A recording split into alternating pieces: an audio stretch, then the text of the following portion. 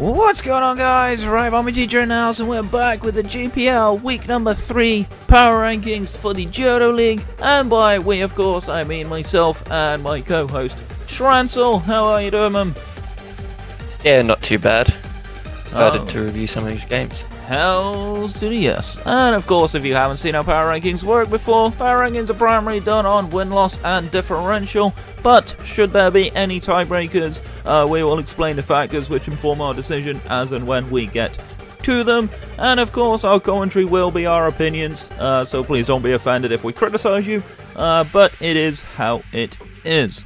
So, with that all being said, coming in at rank number 10 this week is going to be Nico. Unfortunately, still chasing his first win. Uh, I felt like Nico just kind of got outplayed across the entire board by Burrger. Uh, I didn't see an avenue for Nico to come back into the game, especially once the Scrafty went down to the play rough, the, the Lycanroc. I don't know if this was just um, Nico not realizing Lycanroc got play rough, um, or just generally just thinking that somehow a Scrafty outspeeds a Lycanroc. Uh, but that was definitely kind of a big turning point to me. I felt like Scrafty had a decent opportunity if it Dragon Danced. Um, if it was the Dragon Dance set to get set up and be annoying. Uh, but we didn't really see it, unfortunately, come to fruition as a got O-code. Yeah, uh, I was a little confused why he didn't bring the, the Psychic core. I thought they had a pretty reasonable matchup. Especially the Into as it turned out, because of the priority moves that was killing all, the Accelerock especially. Yeah. Yeah, it just, yeah, never really got into the game at all. Yeah, definitely an unfortunate one. Obviously, of course, Nico struggling with the fact that he had to make all his changes early. Uh, I feel like he probably wants to make one or two more to really round out this team. But definitely an unfortunate one for Nico. Uh, getting 6 0 is never a nice feeling, uh, especially when you just got completely outplayed off the board. Uh, his prep definitely was a little bit interesting. So I'm hoping next time round that he has a bit of a better prep. Unfortunate that his next matchup is DJ. So, Mm. uh, might be another time that he's still chasing his first win, but uh, definitely going to be very tough for him. But I'll be interested to see if he can adjust his prep and see if he can uh, find a way into the game to at least cause DJ some problems. Uh, but DJ's team is terrifying, so we'll have to see. Yep.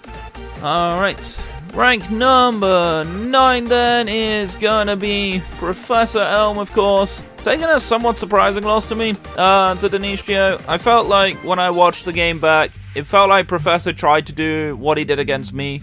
And unfortunately, this time round, he actually got punished for it, notably switching that Cobalion into a fire type. Definitely not the smartest play I've seen in a while. Obviously, he got away with it against me because I was kind enough to U-turn out. But this time round, uh, wasted no time. Just went straight on in and nuked it. Made sure that Cabana couldn't do anything. The biggest questionable decision to me was Gigantamaxing Intelli on turn 1.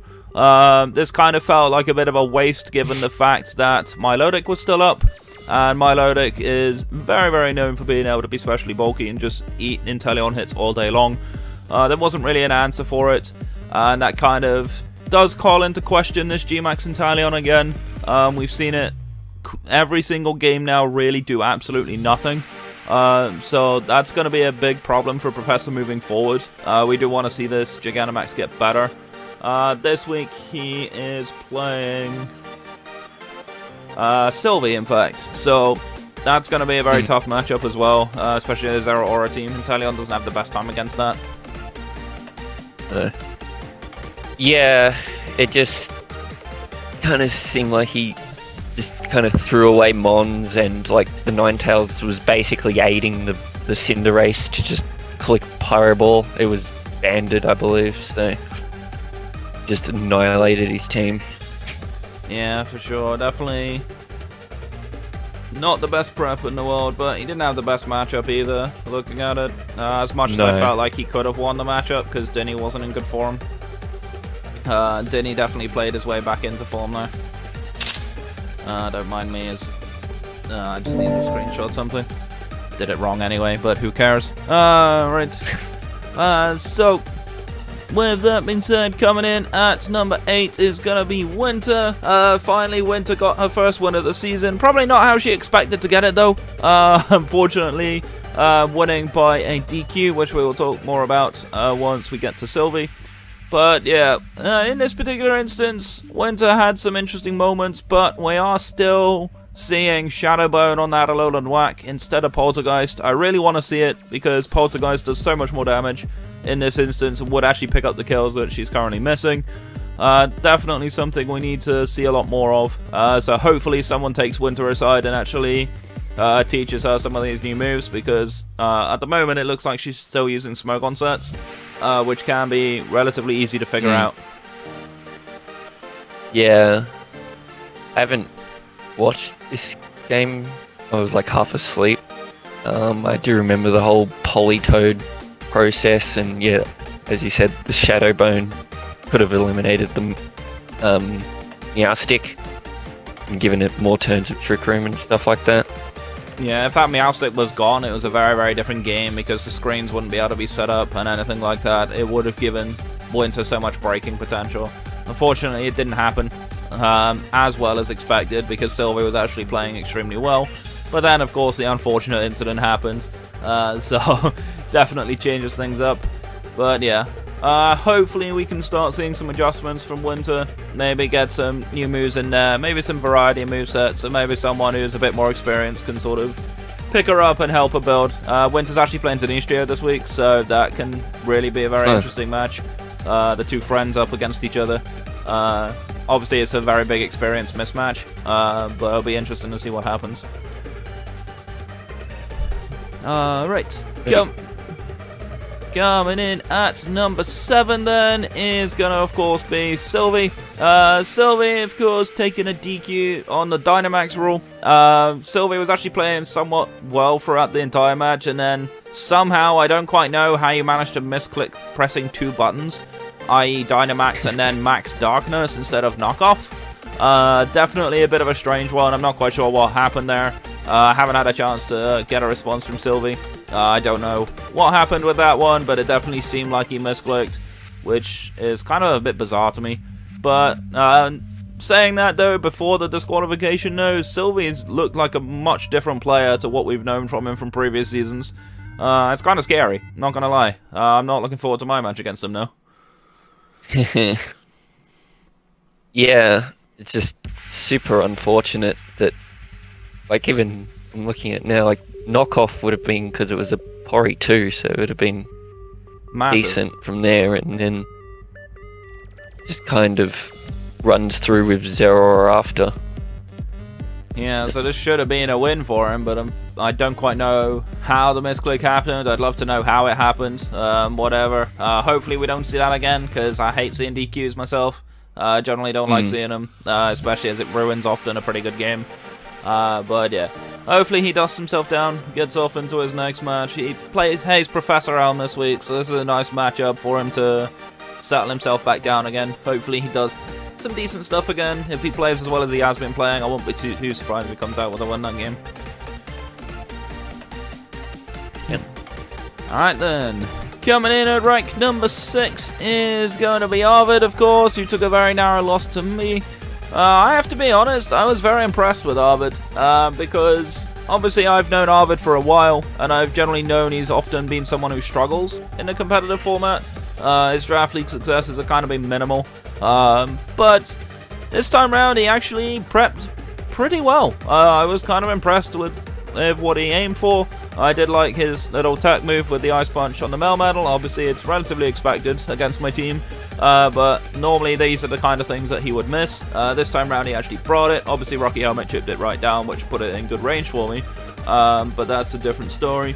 And then, of course, the Scarf on the Goodra, which is something that nobody really expected. Uh, no one called it at the time. Uh, and of course I didn't, which is how I lost my Noivern in that instance. But unfortunately the Goodra kind of limited itself by being scarfed. Um, especially as he was Draco Meteor, I felt like he should have probably brought Dragon Pulse if he was going to scarf this thing. Uh, it would have meant that he didn't have the downside. Um, but yeah, generally speaking, he played this fairly well. The other questionable turning point for me was the move order that he used with his Charizard and Gmax. Um, he had an opportunity to just go for Airstream on my Mimikyu. Uh, instead, he went for Overgrowth, uh, predicting the Rotom and Mudsdale, which made sense. uh, definitely it does make sense on the play, but I felt like Airstream was always better in that instance. Uh, that kind of allowed me back into the game uh, to sneak out a win. Yeah, I also liked the interesting Whimsicott uh, switcheroo to try and make the Volcarona a, a little useless, but the problem with that set is Volcarona only needed a Quiver Dance if certain Pokemon were still alive. And unfortunately, yeah. the Pokemon that Volcarona really needed to beat were already gone, notably the Melmetal. So, uh, mm. and obviously he didn't bring some of the other things. Obviously, it did well against the Mew. Uh, it obviously guaranteed the speed tie, uh, which unfortunately he lost. Um, but yeah, it actually turns out he had a rock move on the Mew as well. Uh, I didn't actually even consider that at the time during the battle itself. But um, yeah, unfortunately, banding the Volcarona only really just wasted a turn, and essentially. Uh, I get the idea. I like the technique behind it. I like the idea. Uh, unfortunately, it didn't quite come off for him on this instance. But nonetheless, though, he's definitely improved a lot, and I'm actually kind of looking forward to seeing uh, how he takes on Burrger next, because that's going to be a pretty interesting matchup. Ooh, um, glad for that one. All right. Coming in at rank number 5 then is actually going to be me. Despite winning my game, I, I fall down the rankings yet again. Uh, I seem to have a bit of a habit of doing this. Uh, obviously, my roster in here is actually my roster for week 4 because um, unfortunately my old roster didn't update properly. So I'm just using my current one.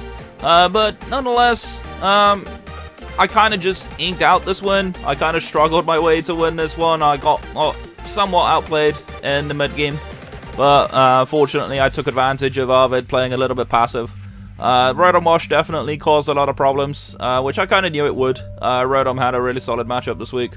I uh, just had to play this uh, as correctly as I could. Obviously, these are the kind of games that sometimes the more experienced players generally do struggle out a win. Uh, I'm not kind of happy with my differential. I need to improve that. but I may have a bit of a hard time doing that this week because I'm playing Akami. But who knows? Uh, it's definitely going to be an interesting one. The changes definitely are going to really adjust the way I play this team. So I'm looking forward to putting them to good use. Yeah, and who would have thought that the banded Volcarona was the last one on the on the field? I know, alright. It's pretty funny. Uh, it, okay, it did a lot of work. Killing a Goodra with a Bug Buzz because it was offensive and not max HP. Yeah. Uh, yeah. Uh, how many kills did Volt get? It got a lot. It got three like kills. Three or four. it got yeah. three kills, and it was choice banded. hey, look, it gets flare blitz. You know, just saying. Mm. It might come. it might come in the future. Banded flare blitz with that base 60 attack. Why not? Uh, uh, right then. So, moving swiftly on from me being stupid. Rank number 4 is going to be Dinistrio. Also same differential as me, but he actually won his match in a much bigger fashion, so he takes power rankings over me this week. Um, but uh, it's kind of nice to see Dini back, to be honest. Mm. Uh, this is the Dinny that we've missed for quite a while. The Dinny actually playing in very, very good form. Uh, hopefully we see more of this, because this is the Dinny I expect. I don't want to see you know, Denny getting tilted off the face of the earth and not being able to win a game, uh, because Denny's better than that.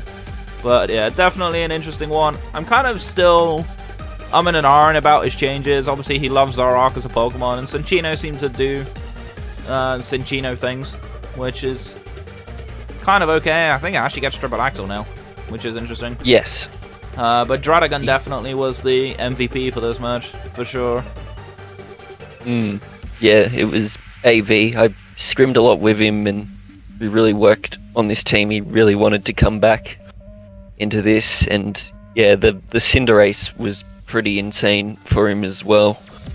Um, pretty interesting that he didn't didn't go with the uh, the Gengar Gmax for this week. Um, I can sort of understand why though. Matchup, um, yeah.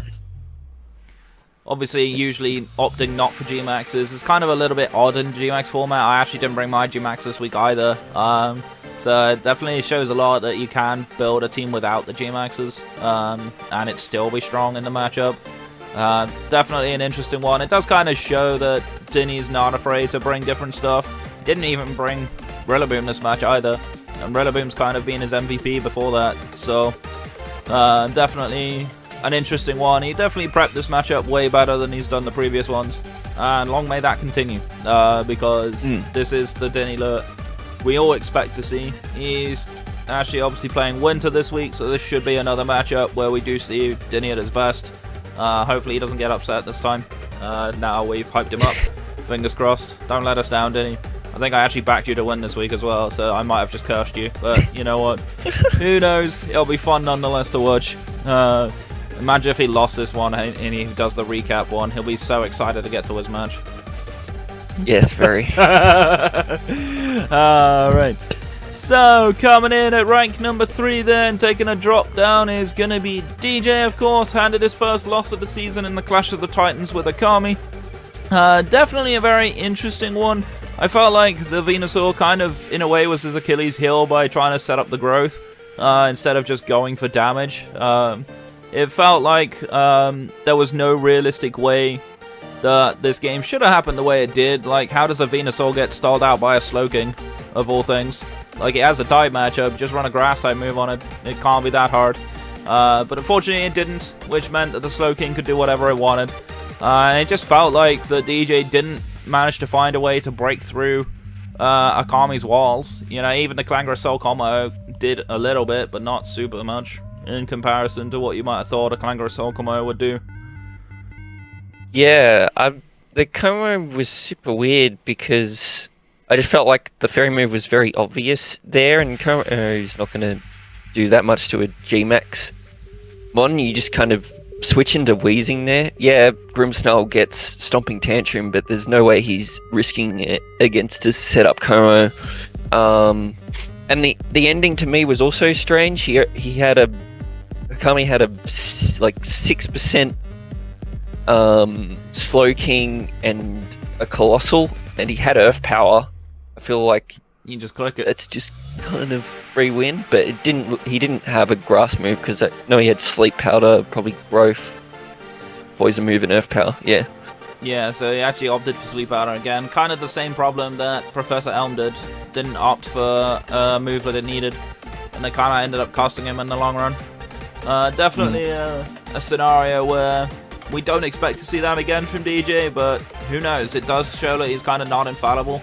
Uh, despite how much trash talk he does and despite how much banter he does in the chat, like he is not, he's not impervious to getting caught out by things like this. Uh, so that Yeah. definitely is good signs. I play him in week six, so hopefully he keeps doing that. That would be nice. Um, unfortunately, he plays Nico and then Winter in the next couple of matches, so uh, these are probably matches that you'd expect him to win. Uh, but who knows? He might slip up again. Although Krookodile is kind of dominant in the matchup he's got this week, so yeah, uh, and he's been and I using definitely Croc didn't extremely well. didn't see Rotom Fan coming either in that game.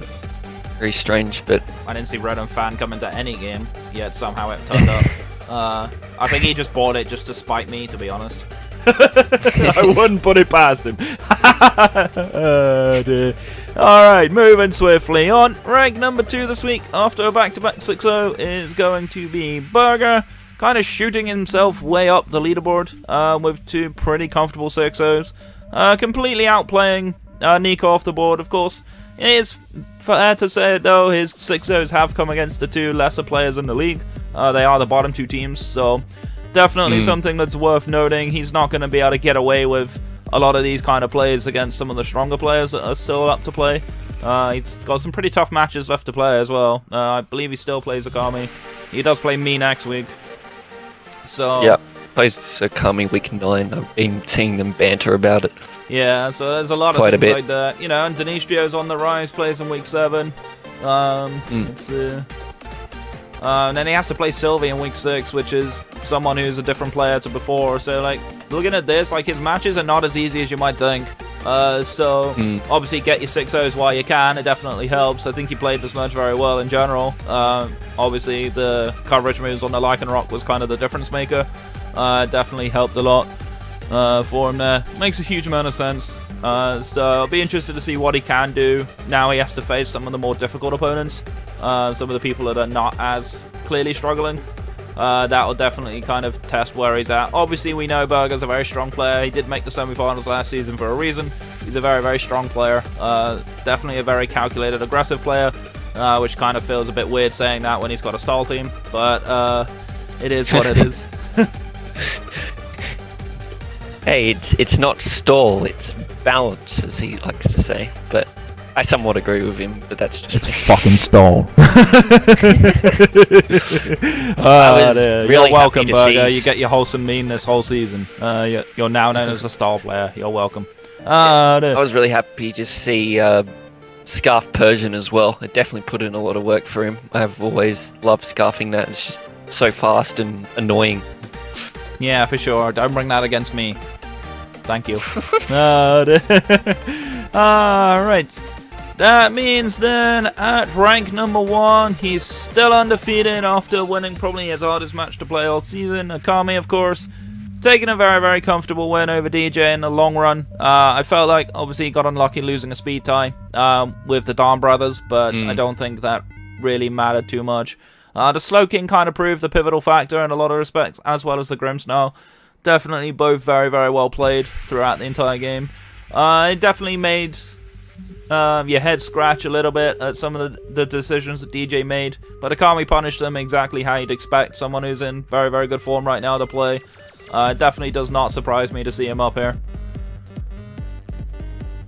Yeah, and I really liked the Haxorus set to kind of uh, just break through the Torkoal and the, or, or killed the Rotom, that's right. And then it, it basically almost killed the Venusaur, put it very, very low. Um, he was saying to me if he just played that a bit better, he could have actually 6 0'd from that position, but he messed up not swords dancing on a play. Um, so there's always obviously room to improve. Um, it's a good thing to see in your game, even if you win. Oh yeah, for sure, So for sure. And it also Yeah. makes you even more scary because if you don't make those mistakes, then you'll win even harder. Uh, mm, But as you're playing against me, Akami, this week, please kindly make as many mistakes as you would like. Thank you. Alright. of course, Akami and I tend to trash talk each other a lot. Uh, we obviously did a playthrough together on Twitch, so uh, definitely a lot of banter between the two of us from there. It was good fun. But yeah, I'm looking forward to my match with him this week. Hopefully, I can hand him his first loss, so that makes the league a lot more interesting. Uh, we'll have to see. But either way, of course, those are going to be the pat rankings for the Johto League, of course. Thank you so much for watching. My name is Ribombee Teacher. That's Trancel. mhm, Stay, always around. Yep. Stay safe, stay awesome, and we'll catch you guys in the next one. Take care.